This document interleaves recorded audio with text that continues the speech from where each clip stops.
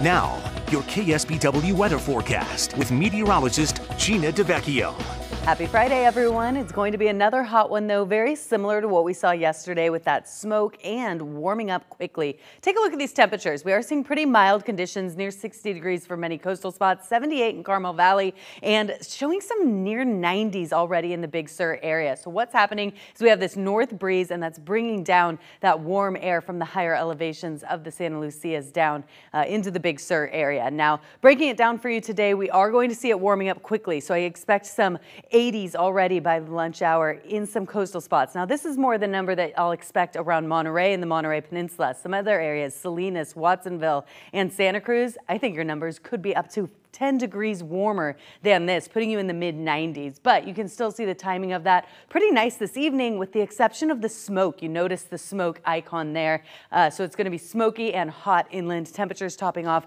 right around the 100 degree range once again. And look at how quickly that warms up. 90s already by the lunch hour for our mountains as well as our inland areas. Dramatic entrance to show this wind that we are seeing, the dry wind at those upper elevations. That's what I'm talking about. And that's going to be a concern around the Dole Dolan fire with the heat as well as gusty conditions at those higher elevations. Ridge of high pressure over us for now, but I want to talk about the changes on the way. We're going to finally see that shift out of here. That'll be a nice change for our inland spots that have been very hot for about the last week or so. Then we'll start to see that cooling down just a bit, but it's the system at the end of the week that we're really going to start to watch, uh, and that's going to bring us the potential for some cooler air as well as the chance of seeing potential rainfall with that. So let's take a look at the forecast. Temperature outlook still looking warmer than normal, but the exciting part is the chance of rain. So of course, this is a week out. This is the Climate Prediction Center showing that for northern parts of the state. But this is the forecast model going out the next week or so.